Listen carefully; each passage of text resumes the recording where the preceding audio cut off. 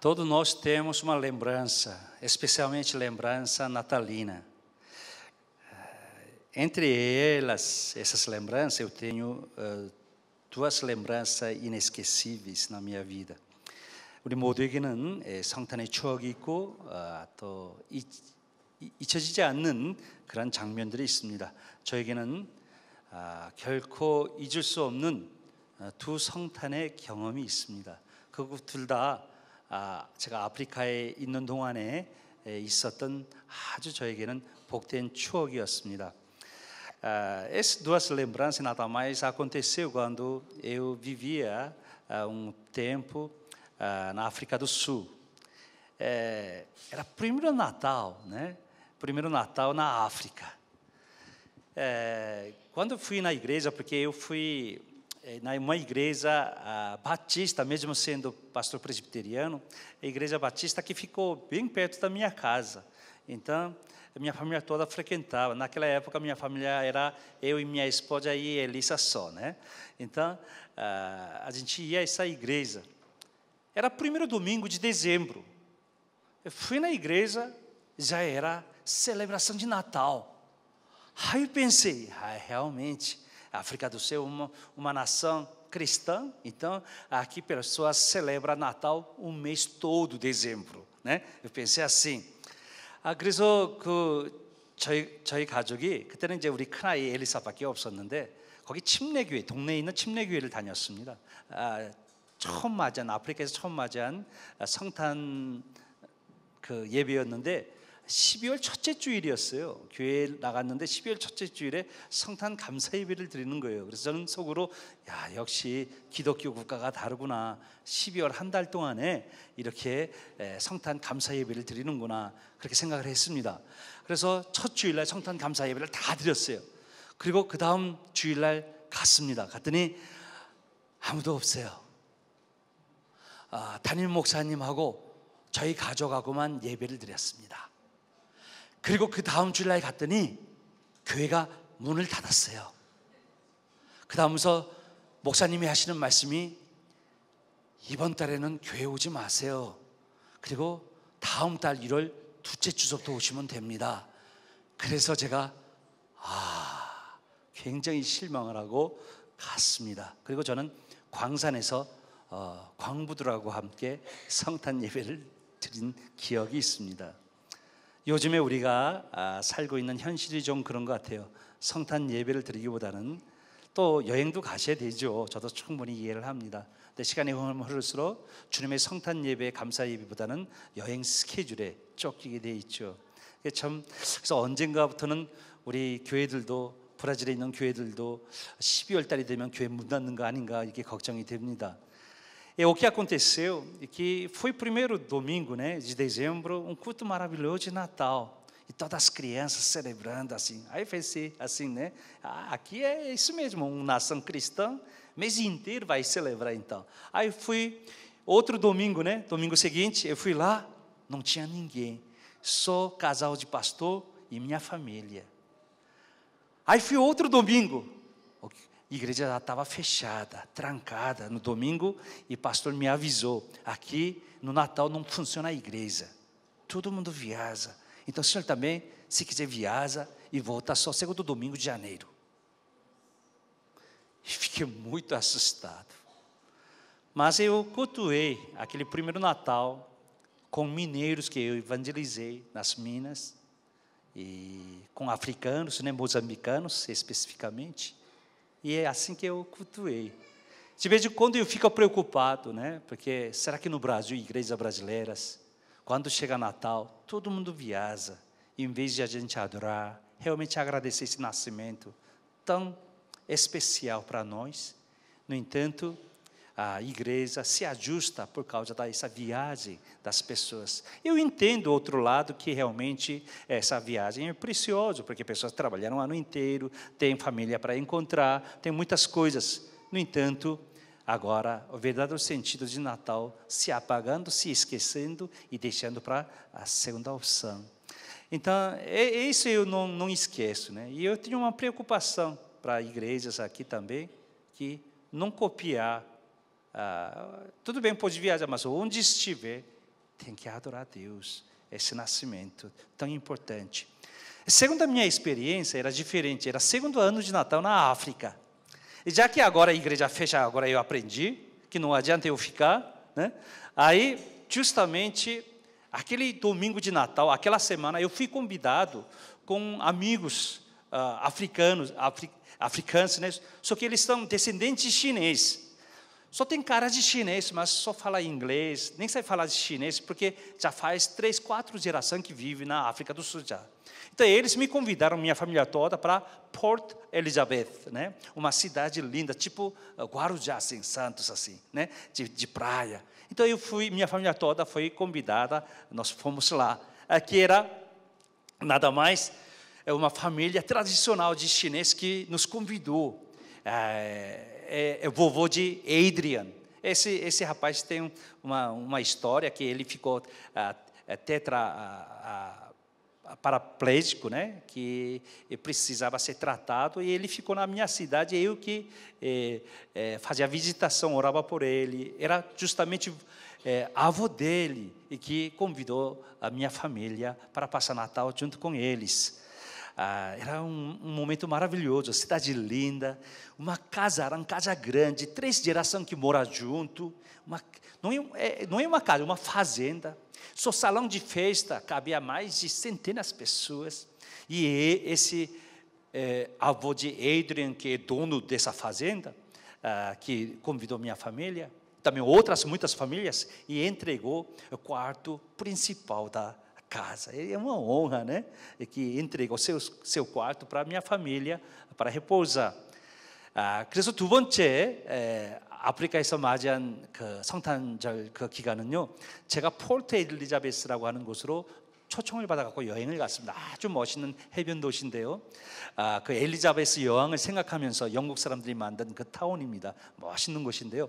거기에 그 에이드리안이라는 청년이 살고 있었어요. 그 청년은 그 차사고로 그 모든 신체 부자유자가 됐거든요. 그때 이제 저희 마을에 있었을 때 제가 그 병원에 신방도 다니고 음식도 좀 나르다 주고 했는데 그 할아버지가 저희 가족을 초대했습니다.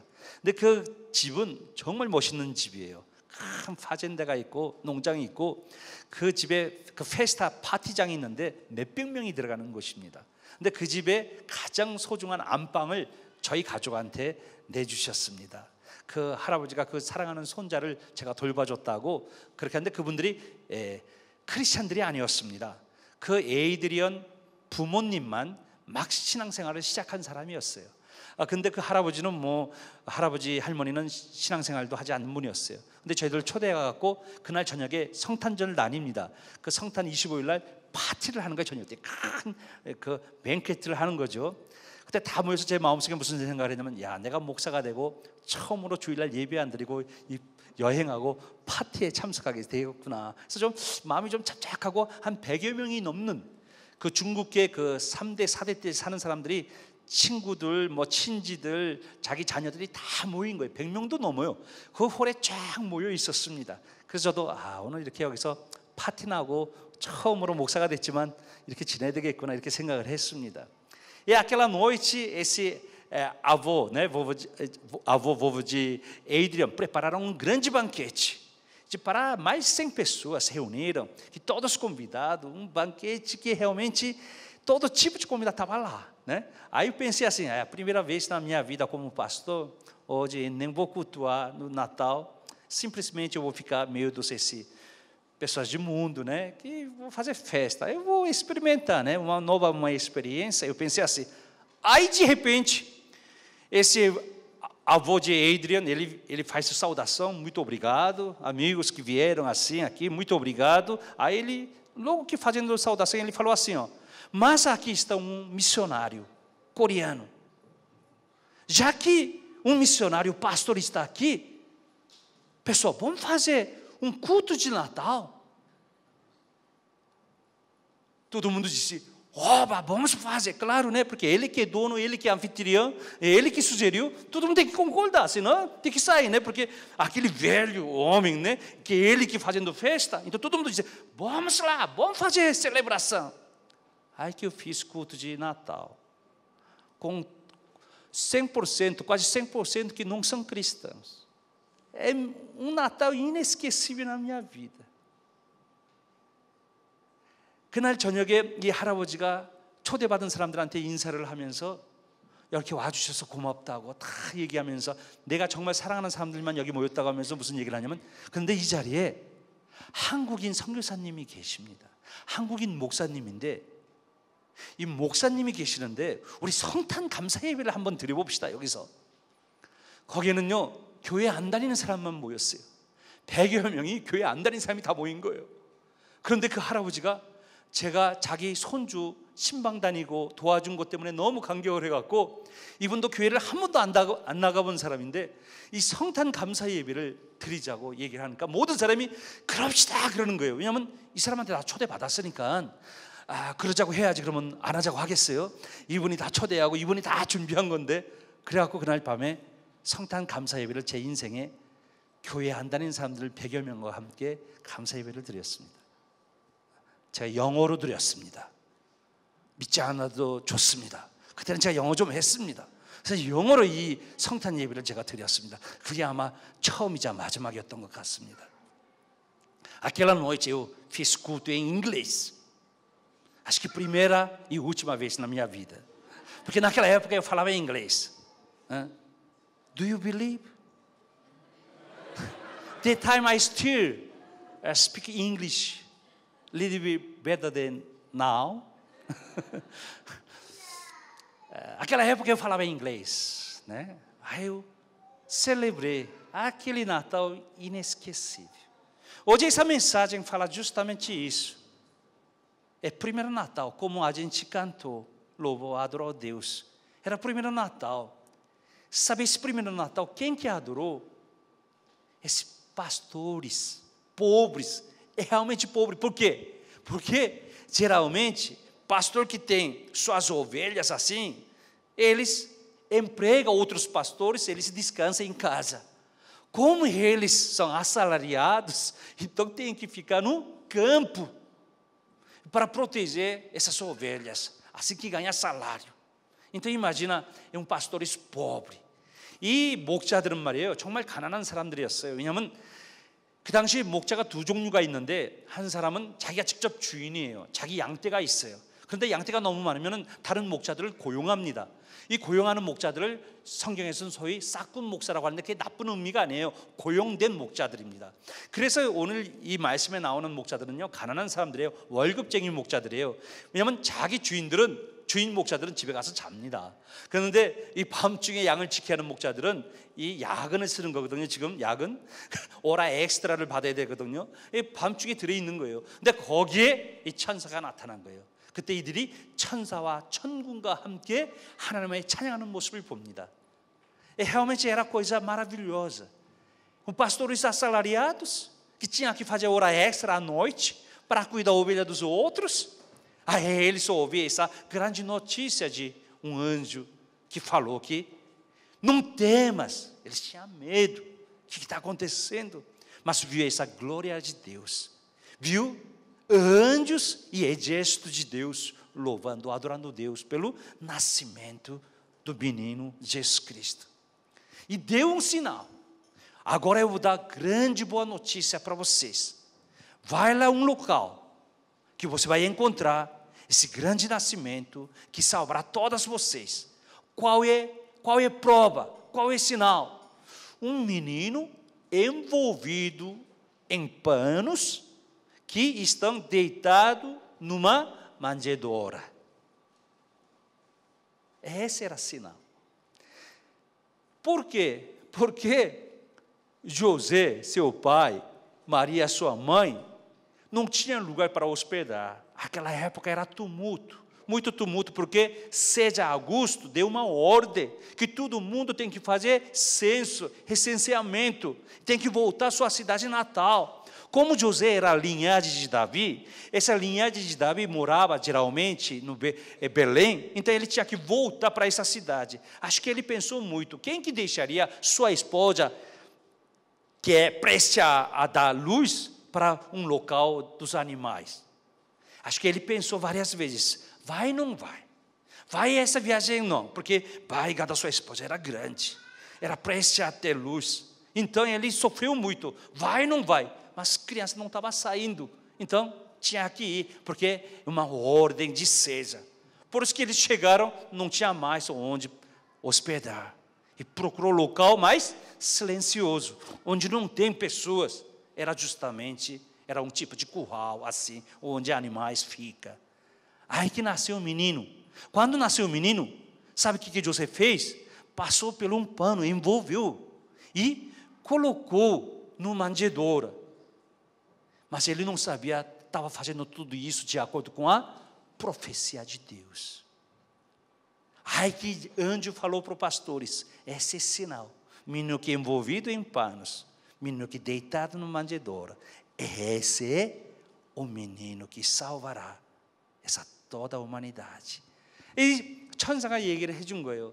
이 태어난 이 구호, 구세주 예수의 탄생을 가르쳐 주는데 그 표적이 뭐냐면은 강보에 쌓여서 이 말 구유에 구유에 동, 동물들의 구유에 먹이통에 눕혀 있는 그 아이가 바로 표적이라고 한 것이 요셉은 말이에요 아내하고 급히 서둘러서 이 베들레헴에 왔어만 했습니다. 왜냐하면 그 가이사 아구스도가 이 어명을 내렸거든요. 모든 로마 제국 하에 있는 모든 백성들은 다 호적 조사를 하라고 그랬어요. 인구 조사를 하는 거죠. 그래서 요셉도 할 수 없이 이 베들레헴으로 왔어야 했습니다. 왜냐하면 다윗의 집안, 다윗의 혈통. 우리 한국으로 따지면 제가 요번에 제주도를 갔는데 거기가 삼성열이 있더라고요. 고시양씨 부씨가 있는 그, 그 고시양씨 부씨가 많이 산대요. 그런 식으로 이 다윗의 자손들은 그 베들레헴에서 많이 산 거예요. 그래서 거기 가서 호적 조사를 했어야 했습니다. 근데 요셉이 너무 힘들었어요. 이 만삭이 된 아내를 데리고 가야 되나 안 가야 되는데 아기가 안 나오는 거예요.